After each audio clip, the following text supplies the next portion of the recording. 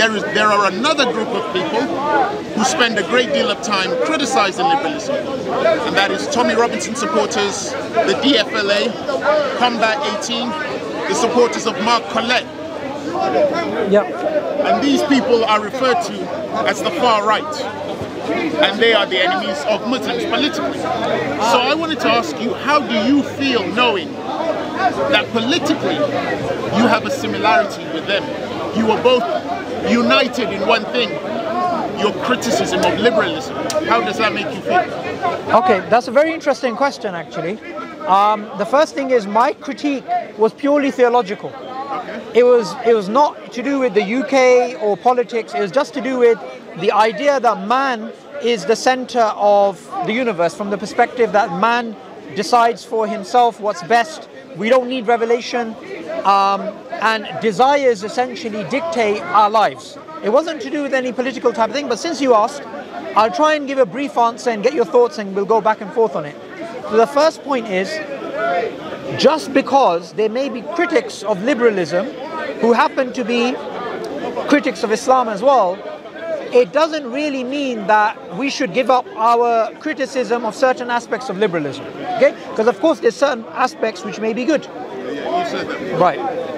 The second thing is um, when it comes to the far right itself, the far right will definitely use what it wants to attack Islam. However, that doesn't mean Muslims should ally themselves or should go full swing into the arms of liberals and give up their own principles just to fit in and be, feel protected. Because ultimately, we as Muslims, we're not people of fashion, right? We're people of tradition. Whatever our tradition is, our belief in the Quran, our belief in the prophets, our belief in uh, the early companions, the early Muslims, we try and stick to that. And if we happen to theologically disagree with the idea or ideas of liberalism and say certain people from the far right who are inclined, they sometimes use Christianity, right? If they seem to have ideas which are similar to us, I don't really see why that would be a problem. Well, it would it would be a problem because, as you know, they're obviously enemies of Islam and Muslims. They don't like Islam or Muslims, and uh, you both of you spend time criticizing each other, challenging each other, and quite rightly so because the things that Tommy says about Muslims, you challenge and say they're lies and whatnot. But it's it is worrying that they have the same political kind of uh, leanings as you do in regards to the criticism and dismantling of liberalism. For instance, heaven forbid, if they came into power politically, liberalism would disappear. Liberalism would go. And what, what, what would replace it? Well, it's there. Well, I, me, I'm biased. I would say they're more fascist in right. the way they think. They would say that they're democratic and they're patriotic. But I would say there's a lot of totalitarianism and fascism in the way they, they talk about things politically. Right. So that would take over. That would be the ideologies that would take over. Sure. So the question then is turned over to you. Because I said the same thing to a Christian. If the Christians took over in the UK politically, what would they do? And he told me, if the Muslims... Well, it depends what type of Christians they are. True, true. Uh, Not not the born agains. but then I would ask you the same hypothetical question. If uh, through politics, through democracy, a uh, Islamic political party came into power, would you be get you would get rid of liberalism as well? Okay, I think there's a slight confusion here. The last time we had a discussion, I was just talking about the theological aspects of liberalism. I wasn't speaking about any political implications. I understand, but what so I'm saying I, is and also I generally don't talk about politics. I understand that, but it's just that even though you, you're addressing liberalism from and the theological point theological of view, point of view, yeah. They do the same as well. It's it's both. That's what I'm saying. No, but I don't think the far right does it theologically. I think they do it politically. But when you spoke a bit, uh, when you were talking to me and you were criticizing it, you did you did talk. I, about, I was talking about morality. Oh, you also talked about uh, 1789, France, politically, how they had been inspired by um, by liberalism politically. Yeah. So a bit of politics did come. You're right. You're right. You're right. That, but that was more of a historical thing. But what I was trying to get at as Muslims in this country, we're not here to challenge the status quo. We're here as Muslims, as citizens of the land, to obey the law of the land and to live our lives in a way that we don't interfere with other people, they don't interfere with us, and we act in a way that we are good citizens and good ambassadors of Islam. So my conversation with you is just theological, right? Yeah. But I want to ask you a question here right now, right? So you you said previously that you believe in God. I still I still believe in a creator. You still believe in a creator. And our conversation was about the creator being a moral guide. And liberalism today doesn't say the creator is a moral guide, right? So do you think today, and I'm going to give you one moral problem, and let's look at whether liberalism can answer it or Islam can. Okay? So the problem is excessive materialism. Okay? I'm going to define what I mean, and I first want your thoughts whether it's a problem, then we'll look into solutions. So I'll define the problem. The problem we have today is that there is a huge excessive focus on, on uh, materialism. A lot of people are competing with each other in terms of wealth, in terms of image, in terms of status. A lot of people are becoming depressed because they're on social media. They see people that are richer than them, happier than them, have a higher status than them. And we have a society which is geared towards this type of um, endless rat racing. Yeah? And this is obviously a problem and it's leading to mental health issues, it's leading to loneliness, uh, to social breakdown, to crime, to all these types of things, and ultimately unhappiness. I believe Islam has a solution, but before I get into that, do you believe materialism is a problem in today's world? Materialism exists, yes, and this is a problem. So give me an example and, and why is it a problem? Uh, to me, materialism would be um, basing your life on uh, individual needs for Yeah. your own for your own benefit.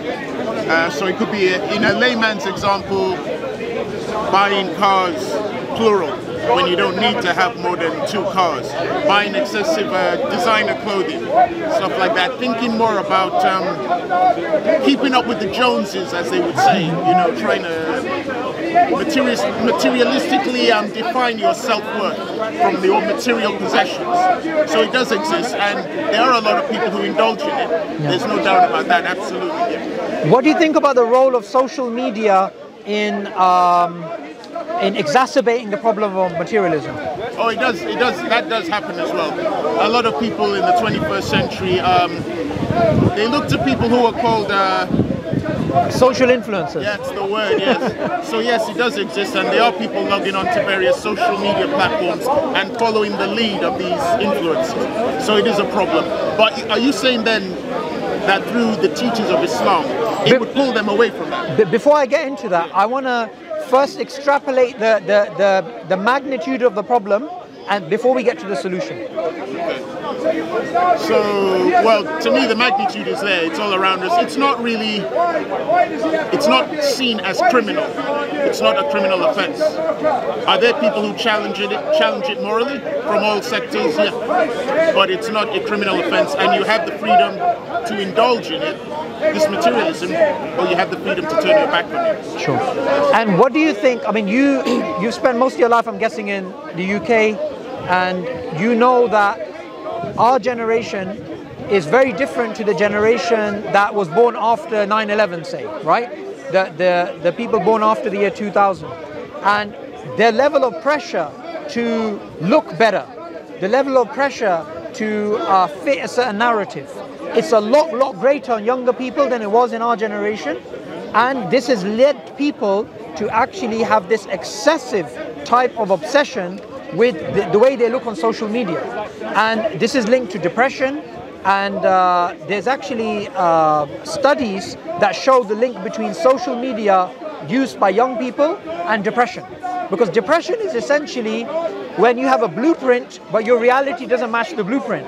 And if you look at everybody's uh, world, what we see on social media is the best side of someone else's world. And most of us, when we are on social media, we see a, a world that we can never access. Yeah, I don't dispute any of that. But are you saying that liberalism is allowing that to flourish? Yeah, I'm gonna. Yeah, I'm gonna get to that. Yeah, yeah. So yeah, I would agree with you in all of that. But like I said, it's like a, it's a matter of choice. You can either go down that path or you can't. But it's not criminalized. Okay, so about the choice thing. If we have a situation where you have a child and the child has a dangerous hammer next to them, or you have a situation where the hammer safely stayed uh, uh, put away. You can argue the child, we should give it a free choice, and if it wants to, it can play with the hammer and hurt itself, or if it wants to, it can leave it. But what's the responsible thing for an adult to do?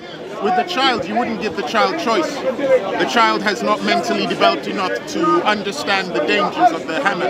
Okay. So the child would, at that age would not be given a choice. The parent or the adult would have to teach the child, be careful of that thing, it's Good. dangerous. Good. Now, with adults, are they really any different to children when it comes to choices? Theoretically, yes. Theoretically. They're supposed to be different because they are adults, so they would understand the pros and cons. That's Yeah. the theory. That's the theory. However, just like no matter how warm blooded you are, if you're in a freezer, you're eventually by your environment. If you jog around in the freezer, if yourself up, eventually you'll lose because the environment around you is going to overwhelm you, right? So the same with materialism. Materialism is a dangerous thing and it's all around us, and unless it's curtailed through moral teachings, then it's going to overwhelm and subdue people. And in that regard, adults are no, no less helpless than children in regards to their environment. I don't know. I, would, I wouldn't. Uh, I need more persuading in regards to the adults. Do I believe that there are adults there who are immature, who are doing stupid things? yes. But I would have to really study them to understand whether they are not aware of how stupid it is. Because some people, they know what they're doing, they don't care. So, for instance, you have people here who might indulge in their consumption of alcohol. Now, they are smart enough to know that too much alcohol will lead them to becoming drunk and antisocial. So they're not children, they know, but they still choose to go down that path. So as an adult, I can't say that they didn't know they were they were immature. They knew, but they chose that. That was their choice. Can that choice be taken away from them? Of course, in a totalitarian society, whatever. Can they be guided away from it? They can be morally through a religion or through a, a belief system. But I I don't think they should be viewed as children though, because they're still adults and they know what they're doing. Okay, so I'm going to make a point which may sound a bit controversial, but I'm going to try and back it up with some evidence. Most human beings, they are just as susceptible to their environment as children are, and there's an illusion of choice because most people they don't make choices based upon what they like or what they believe to be true or rational. They make it according to what society tells them is right or wrong, and what the social pressure or norm or fashion is. There are people who do that, yeah, I, I won't deny that. I would say the majority of people. Majority will, majority will reluctantly curtail their morals based on changes in the law because of the environment. and the environment as well. That does Yeah. happen, Yeah. absolutely. Can't. And are you aware of so uh, psychological experiments which show human beings will do the wrong thing, something they believe to be wrong, purely to fit within the social circle? There's lots of experimentation to show this. oh yeah, I believe human beings will do that. Yeah. They will do that to fit in. Absolutely. There- Yeah. There's no debate about There's that. famous experiments like Solomon Asch and others which basically show that human beings they will do something they believe to be wrong simply to fit within their peers. So what I, why I want to get to is now liberalism and I'm only talking not politically, morally. Liberalism facilitates materialism. So that's the first point I'm going to make. You can challenge it or we could have a discussion, but I believe this to be 100% true. Liberalism facilitates materialism. I would like to know how. Good. Here's how it does it.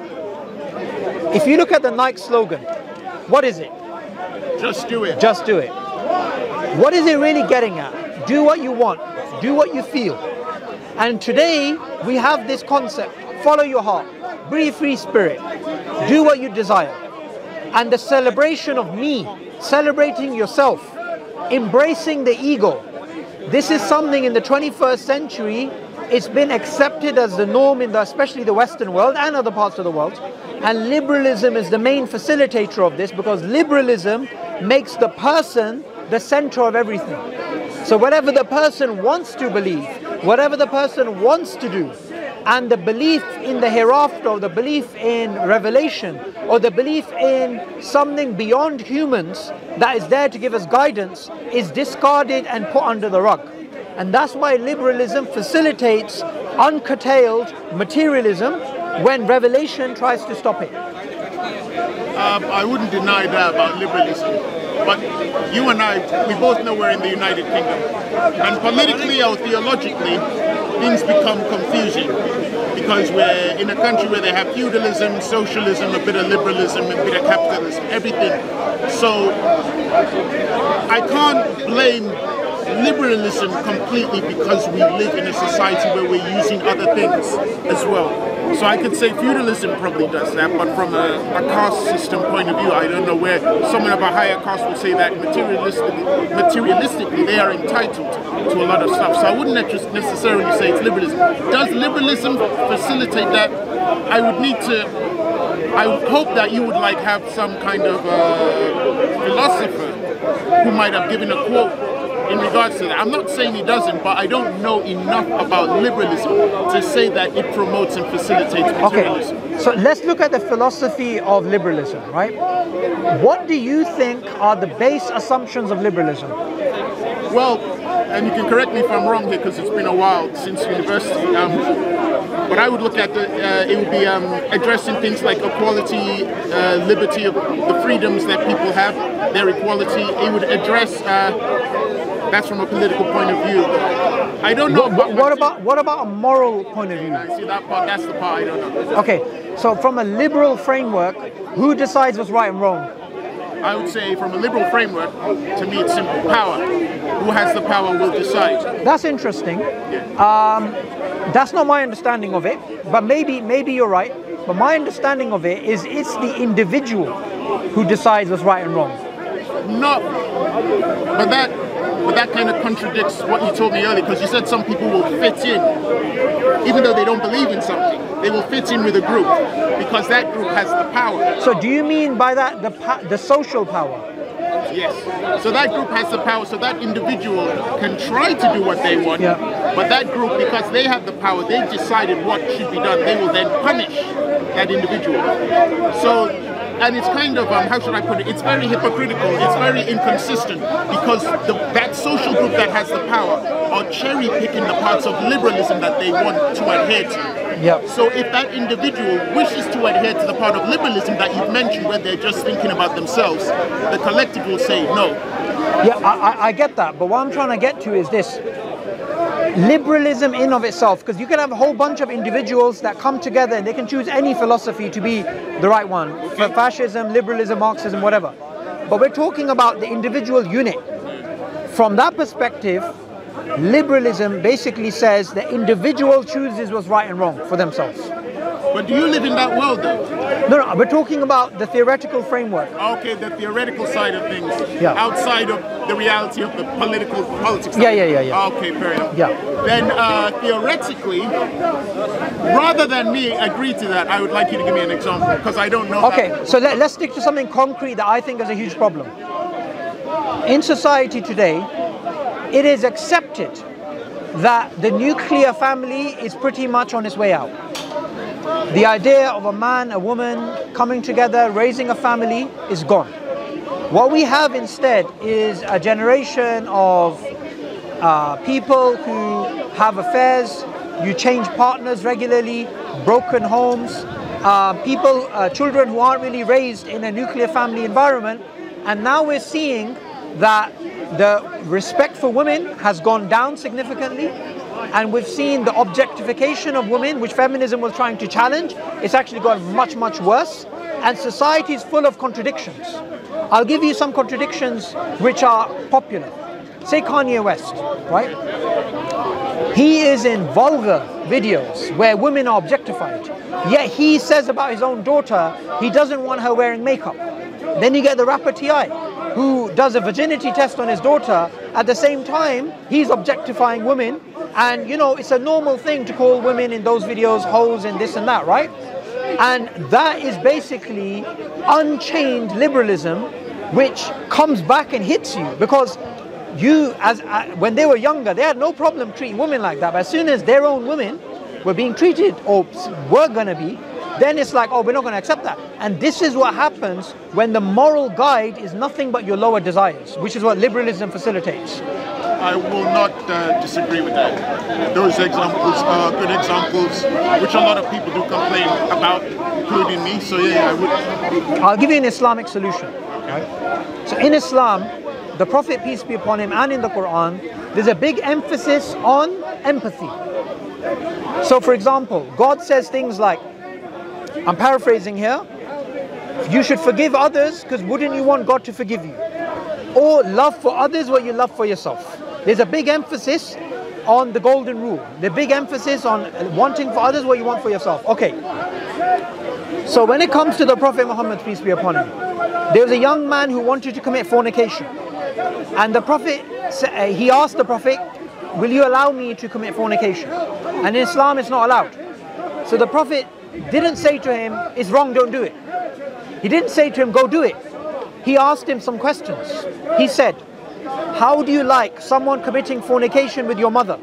And the guy was like, he didn't like that. And he said, no, he wouldn't accept that. How do you like someone doing that to your sister?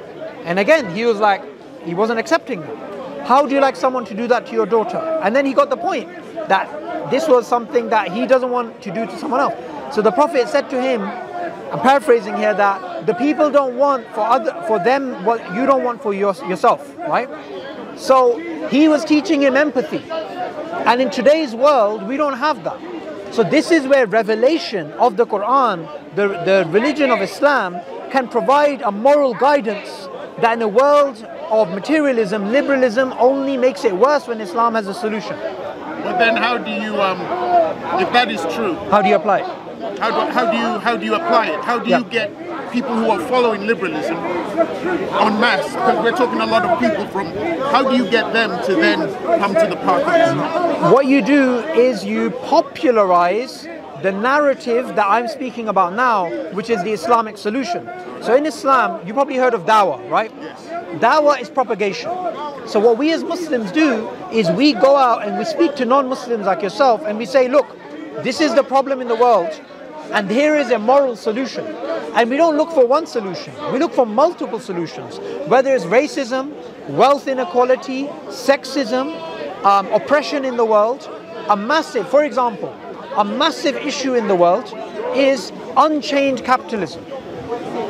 Now, if we look at many economies in the world, there is this perception that there's equality in the world. There's a perception that there is an egalitarian world order, when in reality, we're not that far off from the time of colonialism. Poor countries are bought out by rich countries, their currencies are dictated by those richer countries, and we have a situation in the world where the poor are getting poorer and the rich are getting richer. Did you hear recently about Jeff Bezos uh, and him making billions of dollars? That, that massive increase in wealth that he had recently? No, I didn't know about that. But I know in regards to when you were talking about um, countries controlling the currency of other countries, I know in um, the French-speaking parts of Africa, yeah. they, something they call francophone, or where the uh, the currency there is somehow dictated by France. The, the, value of their currencies it's interconnected and it's dictated by France. And that's like and I that's like the tip of the iceberg when it comes to the issues of how many colonial powers till today still run things in their former colonies. And now we have another power in the world which is doing the same thing, which is China. So it's doing. You see, you've heard of the East India Company, right? Wow, we're going way back historically. Yeah. yeah. Well, how different is the Chinese Communist Party from the East India Company? They're going to poorer countries, giving them loans. They can't pay back the loans. Then they take their property. Like um, uh, recently in uh, Sri Lanka, one of the ports, they uh, they get they built it for them. They couldn't pay for it, so they decided to take you on a 99-year lease. But the, the people that allow them to do that, the leaders, would you then say they are following the philosophy of self-interest? Being materialistic, which is liberalism. No, which is liberalism facilitates it. Yeah. So in Africa, many African countries are opening their doors wide to Chinese investment without realizing it's a Trojan horse. Without realizing they're getting battered from the Western world, now they're going to get battered from the Chinese Communist Party, right? And in a world without revelation, in a world without God being the moral guide, these things cannot be morally objected to. Because all, all that you have is the will to power, like Nietzsche spoke about, right? So might is right. If they have the power structures in place, they win. And with revelation, we have a trump card that we can say, no, despite of you having this power, this is morally objectionable. Mean, I'm biased when you say that because um, I get into a lot of arguments and debates with the far right, and they do use that term, might is right. So I'm biased in the sense that I would automatically agree with you. But in regards to what you said, to stem the tide of liberalism getting more, more popular, you said one of the things that you would use is dawah. Dawah, yeah. Through, hopefully through dawah, you would convince people to come to Islam and uh, through Islam they would be following uh, the teachings or the laws of Allah. Yeah. Which would which would be against liberalism. Not only this, liberalism has a promise. And the promise is that of happiness, the pursuit of happiness, right?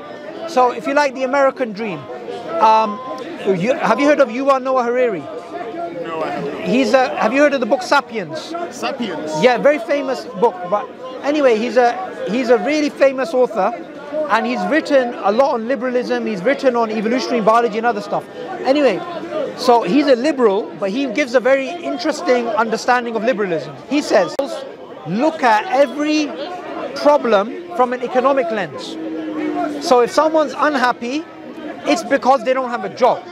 If someone's unhappy, it's because they don't have opportunities. If someone's unhappy, it's we have an economic solution. But the problem in the world is not every problem is an economic problem. People have a lot of wealth, but they're miserable. And this is something which the liberal dream, it, it, it, it has this uh, pipe dream which never actually comes true. The, when you get those things, you don't become happy. So, for example, today we're told if you're more famous, if you're more rich, if you're more acceptable, if you're more good looking, if you have a higher status, you will be happy. This is what we're told. Yeah, if we look at the people who have all these things, they say money doesn't make me happy. For example, Jim Carrey. He's a famous celebrity. He, uh, Ace Ventura, The Mask, and all these films. So he has it all money, wealth, women, status, power, social media. And he said, I wish everybody has what I have so they know this is not the answer. We even have rich people who commit suicide. And there's a, uh, there's a law of diminishing returns. So when you have something, you initially, you're like, wow. But over time, you get used to it and it becomes like anything else. So, so, so then, could you give me an example of one of the um, something within Islam which would challenge liberalism that, that a human being could, that yeah. would help them? Good, very good. Um, do you have a copy of the Quran? hold the mic for a second, please. So, in the Quran, there's a big emphasis on materialism. Okay? And there's some verses in the Quran, I probably won't be able to find them by flicking through, but the verses are repeatedly about fighting off materialism to the point where God says, do not basically uh, be impressed by people of wealth. Where God teaches us that the true happiness is not the happiness of having lots of wealth or status or power or image. It's actually, uh, and this is also what the Prophet Muhammad, peace be upon him, teaches, that it's by having a relationship with God. So God links materialism and these types of things to a path which is leading away from Him. And He leads content, and this is what the Prophet Muhammad, peace be upon him, talks about contentment and having a relationship with God. These are things which give you peace. So, the promise of Islam, the promise of the Quran, is that if you have a relationship with God, you will be happy. If you remember God, you will be at peace. Your heart will be at peace. In the Quran, it says, In the remembrance of God do hearts find rest. Liberalism says, in the remembrance of society, in the remembrance of uh, celebrities, Kim Kardashian, whatever, that's where you'll get happiness. So Islam has a totally different narrative. You see, liberalism is like Superman. It's like this unchanged power. Islam comes along with this kryptonite and says, look, it doesn't work. We have this solution. And this problem of unchained liberalism is only going to make people unhappy. Because who exists in the world today that can say, I have everything I want, I'm content? The Prophet Muhammad, peace be upon him, said, if the son of Adam, if a human being had a valley of gold, he would want another valley. And nothing will satisfy the human except dust in the belly, meaning when they die and, and they're in the grave and you know they, they, they, they, they are finished. So liberalism, it teaches us the exact opposite of what Islam is trying to teach us. So then would you have an example, because you've given me examples of um, how liberalism is affecting people. And obviously there are a lot of people who like liberalism because they live in a country that has liberalism. Let, us stick to materialism because that's... I mean, but that's part of the yeah, liberalism. Yeah. They, they like the materialism. Yeah. They haven't got a problem with it. But um, are you saying then through Islam that not that the person following Islam would not become, in your definition, materialistic. Yes. So, but you would still have wealthy Muslims. Ah, okay, good. Very, that would have mansions. Yeah, yeah. Very good question. In Islam, gaining wealth is not a bad thing. So I'll tell you a little story. Once there was a young man who was walking past some of the disciples of the Prophet Muhammad, peace be upon him, some of the companions. And that uh, young man was going quite fast and he's going to work. And some of the people sitting around, they said, if only he had the same enthusiasm for gaining knowledge of Islam instead of going for work. And the Prophet said, do not say that. If that young man, the Prophet was explaining, if he's going and he's earning wealth so that he can provide for his parents, then he is in the path of God. He is in the path of God. If he's going to provide for his parents, if he's going to provide for his children, he's going to work to provide for his children, then he's in the path of God. If he's going to provide and work to be self sufficient so he doesn't have to ask people, then he's in the path of God as well. Mm. And then he said, if he's going so he gains wealth and so he can, I don't remember the words exactly, but like show off or this type of thing, then he's in the path of the devil. So Islam says gaining wealth for the right intention, even that could be worship. So for example, one of the scholars of Islam, his name was Ibn Taymiyyah, very famous scholar. He said, doing business is a good thing, is actually worship because it increases your trust in God. And my father was a businessman and he used to say to me that, I'm paraphrasing here, but he used to say to me, if you don't do business, how are you going to help poor people? So if you have the intention of doing business and then giving charity and helping people and helping your relatives and doing good, you doing business is an act of worship. So Islam doesn't say be poor. Islam doesn't say don't believe in progress, don't believe in science, don't believe in you know, become a hermit and live no, in a cave. It was, it was, in regards to the materialism, and you, have already you've explained it. Yeah. And the part from what I got that you're saying in liberalism, where the materialism is bad, is that it is about a showing off and about the self. Whereas you were saying if somebody's wealthy and they're a Muslim, you said that if they then started showing off, they, they, they were going down the path of Satan. You said you mentioned. Yeah. So. so the thing is, in Islam, showing off is a very bad thing. Okay? And the, the whole point of you having wealth is for you to get closer to God. And the thing is, Islam teaches, the Prophet Muhammad, peace be upon him, said, true richness is, uh, I've forgotten the narration, but basically, in Islam, we're taught contentment. We're not taught unbridled, unhinged materialism. Go and just earn money and try and show off. If you look at most people, most people are competing with someone else. So, oh, my neighbor has a bigger car. Or this person is better looking than me. Or this person got, I mean, why is it people get surgery? Why is it people go under the knife? Say, take someone like Michael Jackson. He was continuously trying to look better. And a lot of people today, someone may look at him and laugh and say, how ridiculous. Why did he do that? When in, in fact, if most people had money and they could, you know, change the way they look, if they don't believe in God, if they believe in liberalism, if they believe in materialism, why wouldn't they change the way they look? Because, you know, I'm, I'm in my 30s now, I'm getting these slight lines here. You can get surgery to get rid of this. You can get liposuction. You can get all these types. You can make your biceps bigger, right? So this is why I believe Islam and the revelation of Islam is a cure to today's ills. Okay, yeah. Um, I mean, um, as usual, I'm grateful to the talk. Learned a lot. I can say I, I can only hope you wish you the best of luck in the dawah in helping to combat liberalism. But we don't believe in luck. But you can, Oh, I course. understand God's blessing. God's blessing. But uh, hold this mic for a second. Let me show you something. Uh, I know you have a copy of the Quran, but I want to give you this copy. this one. This one is the Barakan. Is it Barakan? Barak. Barak. Uh, uh, this uh, this is Al Al Furqan. Fantastic. Do you have this one? This one. Okay, since you have this one, I want you to read I've this. been using tafsirs to try and understand. Oh, really? That's that's really good. There's a thing called altafsir.com. Yeah, that's a really good website. So, chapter 18 is called The Cave.